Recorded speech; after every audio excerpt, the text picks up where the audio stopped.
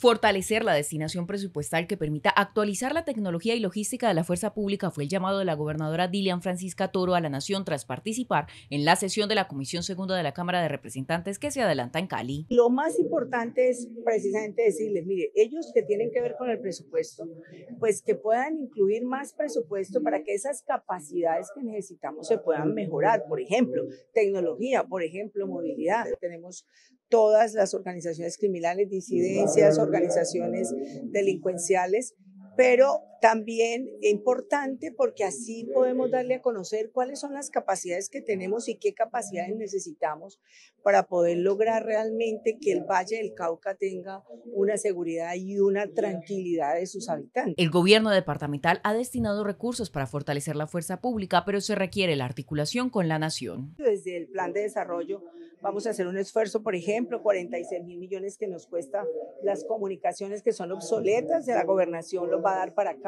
para el departamento. A esta hora avanza el debate de la Comisión Segunda de la Cámara de Representantes para aprobar los presupuestos de los Ministerios de Defensa y del Interior.